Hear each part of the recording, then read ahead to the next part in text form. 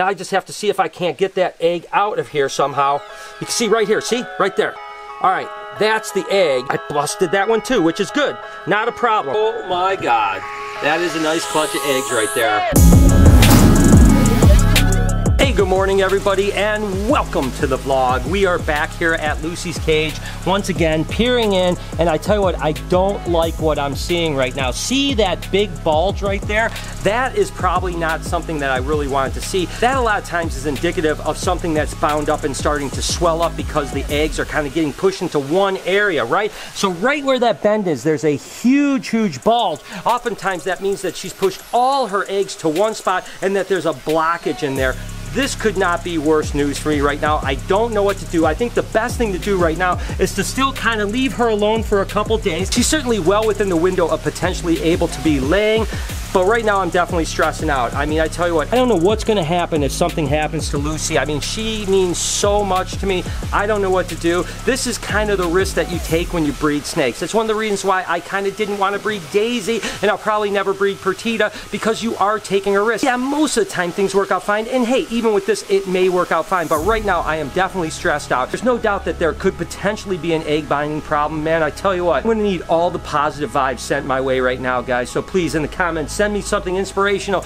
make me feel better. I don't want anything to happen to Lucy. I promise every day I'll keep you guys updated. I guess it's gonna be one of those kind of days because remember my blacktail Cribo was laying yesterday and sure enough, you can tell she's egg bound. I don't know really if there's anything I can do or not. You can see the last egg is actually a couple subcaudal scales from the vent, which could mean a number of things. Could mean that she's pushed up the oviduct and actually crinkled it up where basically the egg adheres to the oviduct and as she's pushing, the oviduct basically curls up and now you can't get it out. Or she might just have ran out of energy and I can get the egg out. The idea is going to be to hopefully go in with the probe and see if I can't express that one egg. Because sometimes if you relieve the pressure of that one egg, she might pass the rest of the eggs. I'll be honest with you, it looks like she's got probably three eggs in her. So I'm gonna do my very best to first go in the anal vent here with this probe and see if I can just feel the egg and I can I think I can feel it. So that's a good sign. So what I'm gonna do is I'm gonna gently massage aspirate like this,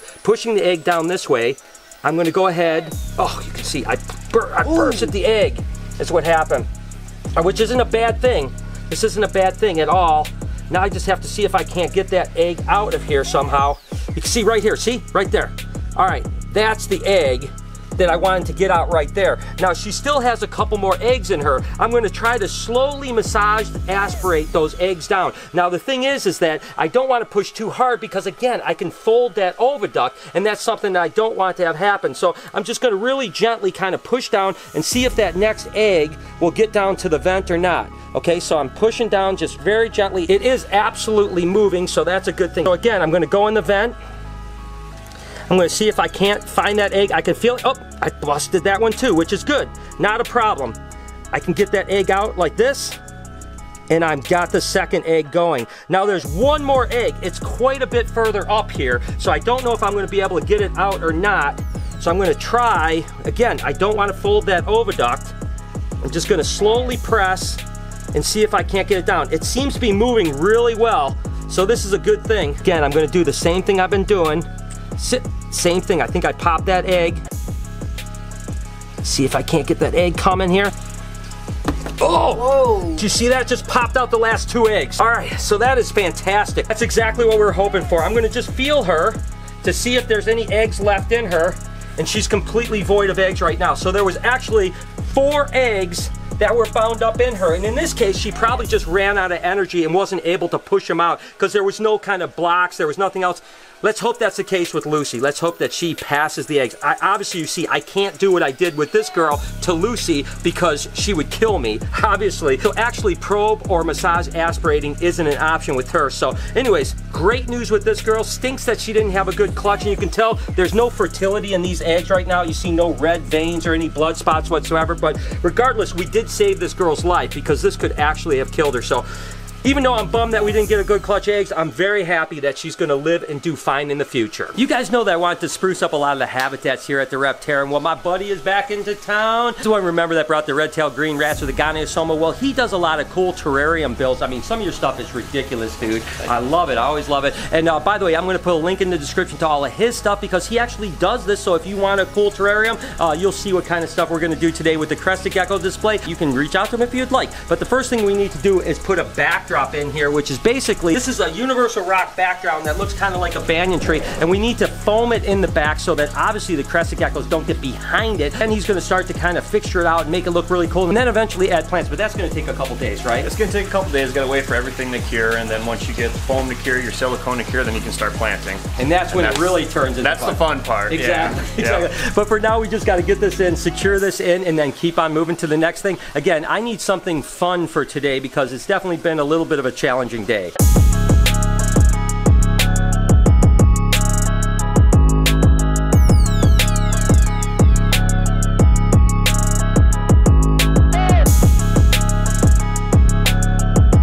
Basically, once that backdrop is in with the foam, we're gonna hold this up here. Then we're gonna take shims and we're just gonna basically push those shims in here to secure it like that. So basically that's gonna push this all the way to the edge and we'll do the exact same thing on the bottom here with the piece that secures this to the bottom. Just so when that foam cures, it's kind of like cemented to the back. And you can see there's foam all the way around. That way no animals can actually get behind it because trust me, we made that mistake when we first opened up the Reptarium. We had all kinds of animals getting behind. We learned that you have to foam it really, really good or you're gonna be in trouble. So we'll put one more brace along the bottom and then I'm gonna let you do your magistry and start designing. Sounds good. Down in the dungeon again with Kelsey, which means we have some python eggs. What do we have? Spotted python. Spotted python. We're now on the spotted python row. Remember we had children's python, children's python, children's pythons. Now we're on to spotted. So let's go ahead and see what we've got here. All right. Tell you what, the last two clutches were like 18 eggs, which is pretty impressive. So it is super cool. And look at that female's busting out. Oh my God. That is a nice clutch of eggs right there. Wow. Doggy. She looks Oh, like she wants a bite of me. she doesn't look happy, Kelsey. Oh my God, what a beautiful clutch of eggs. So it looks like one little loose egg right here that I'm just gonna bake out of there. I think the rest of the clutch looks pretty good. Oh, a couple little Uh-oh. No problem at all. Right, so we'll go ahead and put those eggs in there. This egg actually, you can see, because it's a little translucent, you can actually see it's on top, and it looks like these other eggs might be the same way. Well, yeah, you don't even need to candle them. I mean, you can actually see exactly what they are. That is a beautiful clutch. Let's see how many eggs there are. 1, 2, 3, 4, 5, 6, 7, 8, 9, 10, 11, 12, 13, 14, 15? 15? Okay. Well, I was thinking it was going to be another 17 or 18 clutch, but still 15 eggs is absolutely incredible. Wow. I tell you what, Kelsey, you're killing it this year, man. You're doing such a good job. Thank you so much for all your hard work. All that effort she's put in is really paying off because we're getting some beautiful clutch. So spotted clutch number three, good job.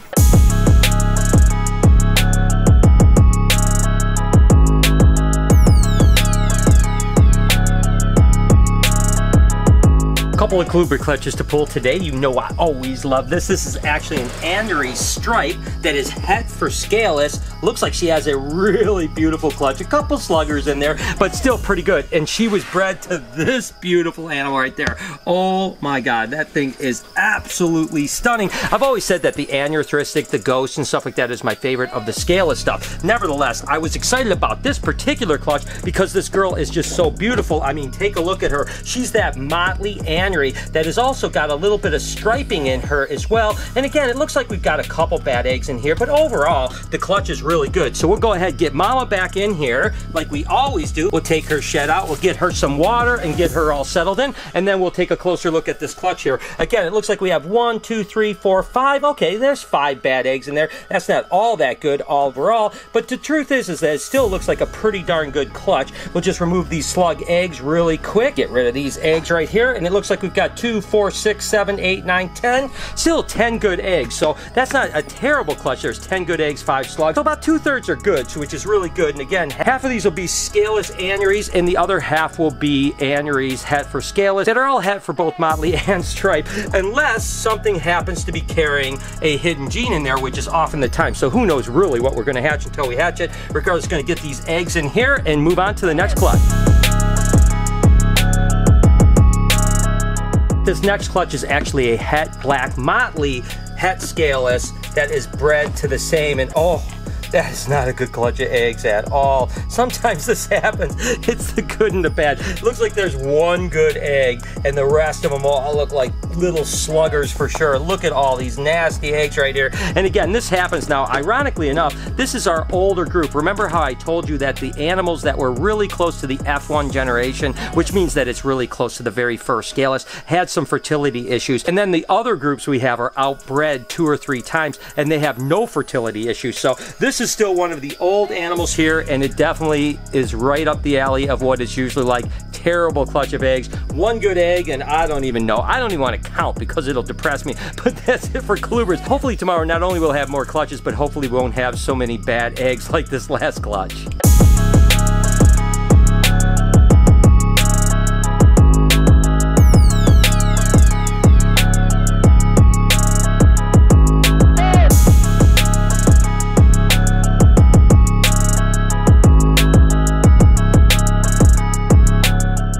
Basically, I think, are set as far as the big foamy type stuff. So what are you gonna do next? What's up? So what we're gonna do is we're gonna let the foam cure. Then what you do with the foam is you take a razor blade and you kind of chip away at it. Make the surfaces rough so the silicone can actually adhere to the foam. And then you lay your substrate over the silicone. It kind of gives it that natural cliffy kind of hill look to it. And then what I'm gonna do then is tip this on each side and put some more cork planters on the side. Once that cures and we get the silicone, and the substrate on both sides, then we can start planting and I got a lot more cool ideas of what kind of plants we can put in here. oh, that's awesome. awesome. It's definitely coming together. Again, this is kind of the rough thing. And all those planters, again, with all those plants and bromeliads and all kinds of stuff are going to look absolutely awesome. So, uh, again, this is the rough part of what it's gonna look like, but trust me, when it's done, it's gonna look absolutely incredible. And as we're working on a new crested gecko habitat here, Jessica's actually sprucing up the blue Azureus dart frog cage. So it's looking really good. What's the plans? Well, I it was kind of looking a little bare, so I want them to be able to move up the cage and be able to utilize the top of the cage. So I'm trying to put some plants up there.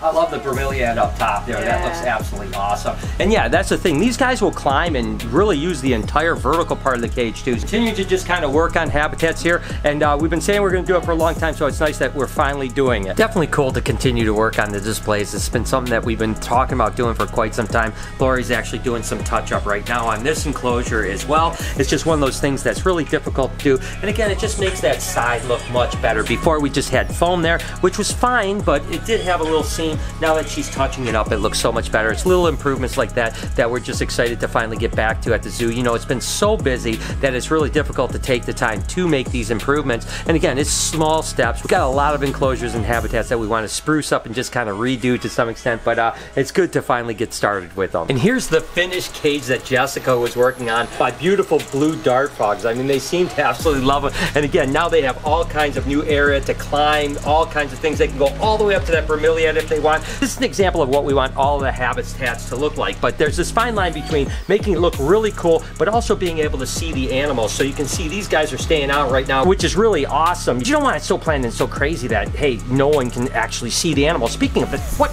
what are you doing up there, you crazy monkey? Again, you could see these guys love to climb, and now that they have some plans way up top there, I think that's why he's making it. I tell you what, this is absolutely gorgeous. And over here at BHB, it's definitely starting to brighten up like a Christmas tree with all these red tags, and you know those red tags mean that those are clutches on the way, so definitely going to be an exciting year. And with all that said, I don't know, I think I'm going to just wrap it up because me and Lori have to go to a zoo to you where we take some animals, and there's no sense in bringing you guys along. You know, it's a little bit boring, but in the future we'll bring you along, maybe. Regardless, have an amazing day. I love you guys so much. Be kind to someone, and I promise I'll see you guys tomorrow.